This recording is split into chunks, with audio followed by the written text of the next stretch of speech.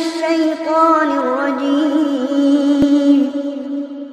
بسم الله الرحمن الرحيم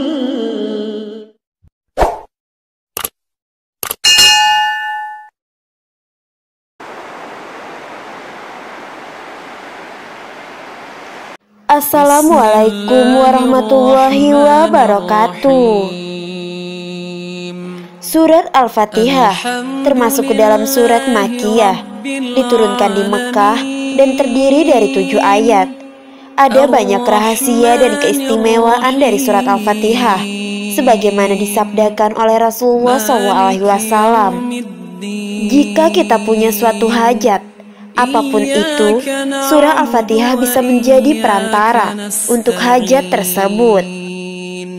Inilah lima keutamaan surat Al-Fatihah yang tidak banyak diketahui orang-orang. Apa sajakah itu? Simak ulasannya berikut ini. Yang pertama sebagai obat, keutamaan surat Al-Fatihah untuk menyembuhkan penyakit disebut sebagai asyishifa yang berarti obat. Al-Fatihah menjadi kunci pembuka segalanya.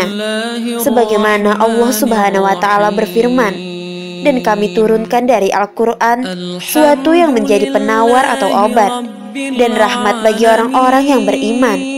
Dan Al-Quran itu tidaklah menambah kepada orang-orang yang zolim selain kerugian. Al-Quran Surah Al-Isra ayat 82 Sahabat belajar Islam yang dirahmati Allah. Air yang sudah dibacakan surat Al-Fatihah yang benar Dapat diminum untuk menyembuhkan berbagai macam penyakit. Yang kedua Dimudahkan segala hajatnya. Bacalah surat Al-Fatihah. Kemudian niatkan apa yang diinginkan. Karena ada sebuah hadis yang meriwayatkan Bahwa Al-Fatihah lima kuriat laba bacaan surah Al-Fatihah bergantung pada apa yang diniatkan. Yang ketiga, syarat sahnya sholat. Kelebihan surat Al-Fatihah adalah menjadi syarat sah dan tidak sahnya sholat seseorang. Karena surat Al-Fatihah adalah rukun dari sholat, sehingga tidak ada sholat seseorang tanpa adanya Al-Fatihah.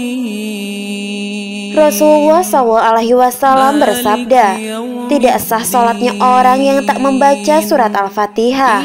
Hadis riwayat Bukhari. Yang keempat meminta jodoh. Sholat yang paling utama setelah sholat fardu adalah sholat tahajud.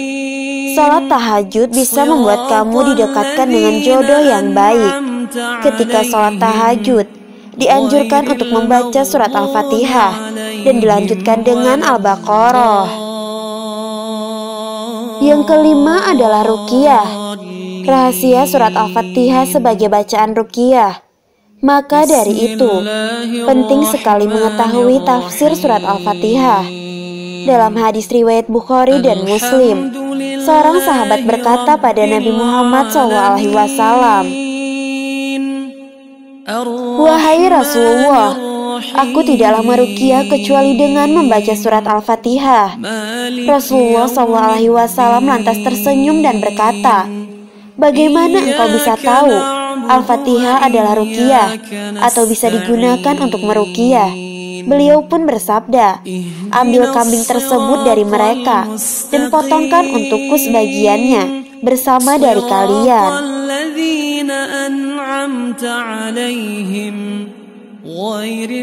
Sahabat belajar Islam yang dirahmati Allah, semoga pembahasan ini bermanfaat untuk kita semua.